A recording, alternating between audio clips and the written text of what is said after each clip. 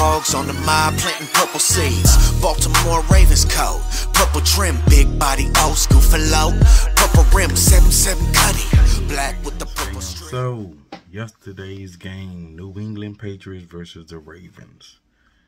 Um, let's let's just go straight to the stats.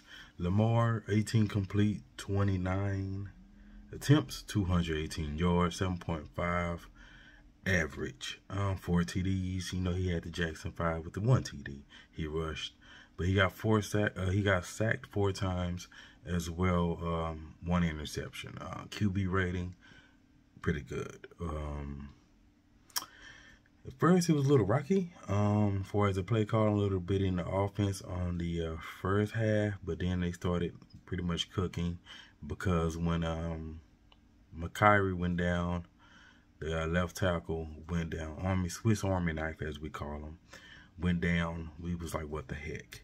Then Faalele came out there. Faalele did pretty pretty good. Um, even though he's a right tackle, but he did pretty good. Um, at first they kept calling plays like on his side. I'm like, what the heck? But throughout the game, I give props to G-Ro. He adjusted it.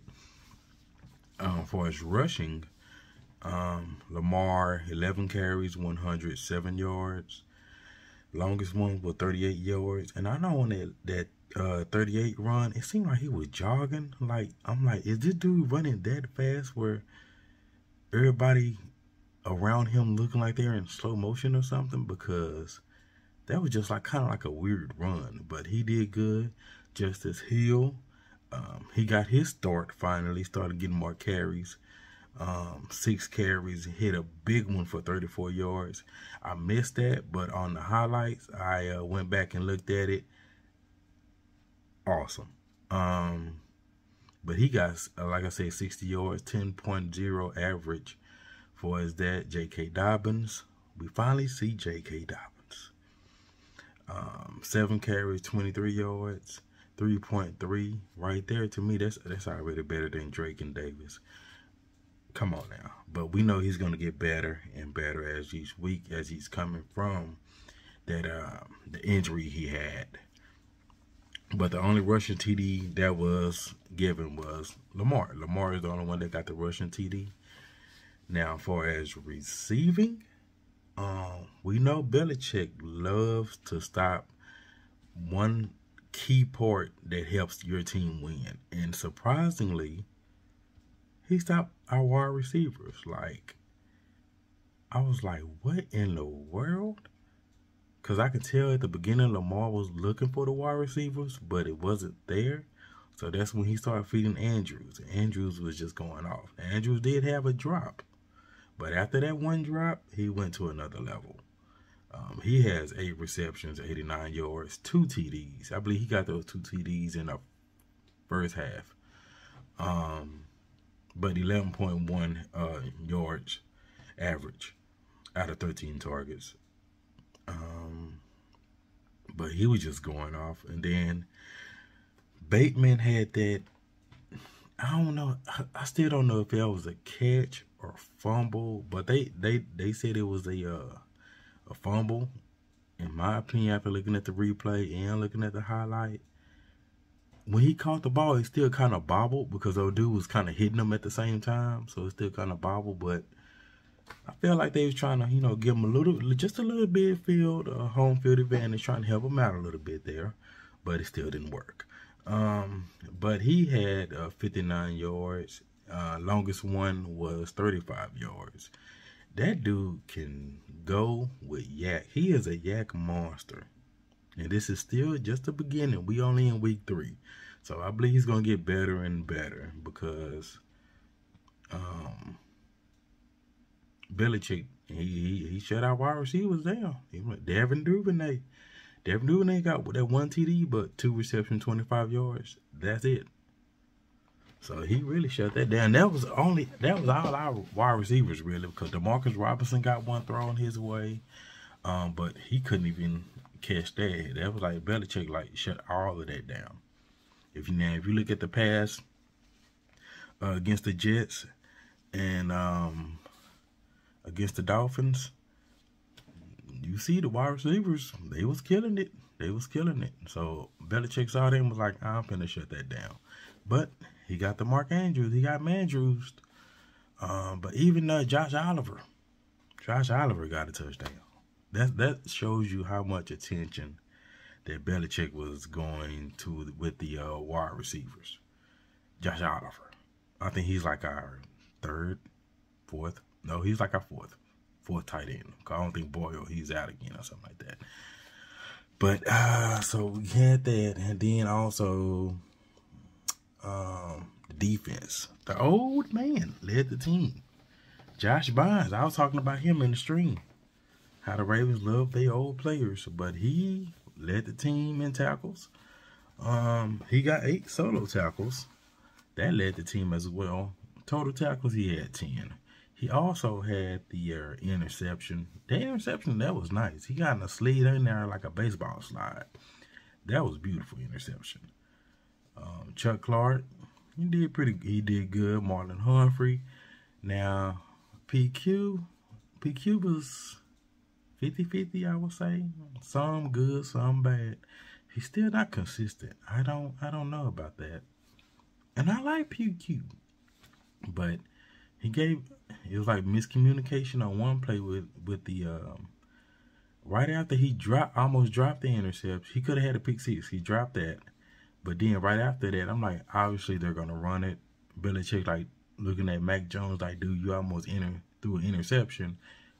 Everybody know we're gonna run it now, but when they went on the next play, PQ and it was somebody else went to cover the same dude and left a whole big old gap on the guy on the goal line.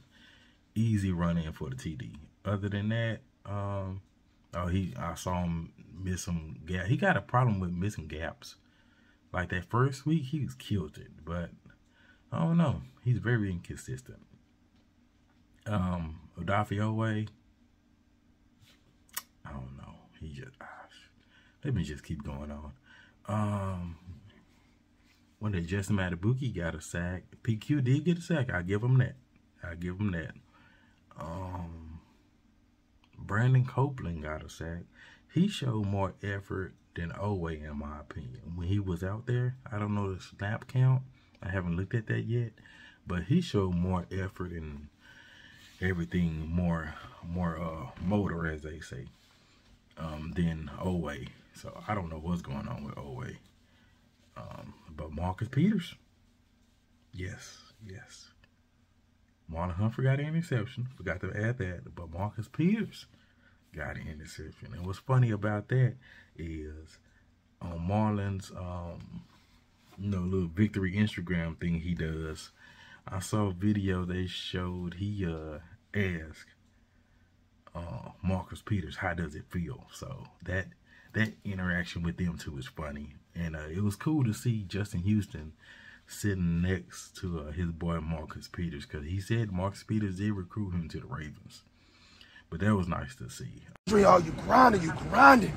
You come back, get the pick, get the ball in your hands again. How did it feel? I mean, I know you got about 40 of them. Okay, yep, I can do that. Um, but we had a total of three interceptions. We got the old man Bynes. Marlon got an interception. Marcus Peters got an interception. Cal Hamilton. Now, Cal Hamilton, I think they showed his snap count was like 24% or something like that.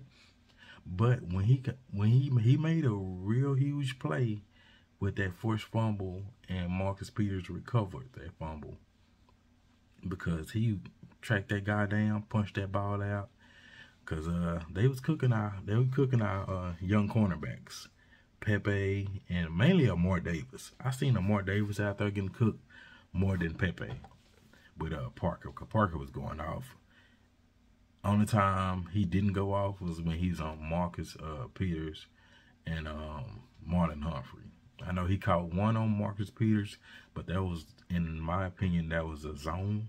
So that really wasn't on, you know, it was just zone. He just ran in. He's kind of in the middle of uh, the safety zone and the cornerback zone. So that can go different. But special teams, only thing with special teams is Stout. He did like a 20 yard or something like that. He only did like a 20 yard punt or something like that. Other than that, he did good. Um, Derek Duvernay for his kick returns, he's gonna be a Pro Bowler again because that dude got juice. They they even starting to be scared of kicking it to him now. That Devin Hester, Jacoby Jones type stuff. I said he's a Jacoby.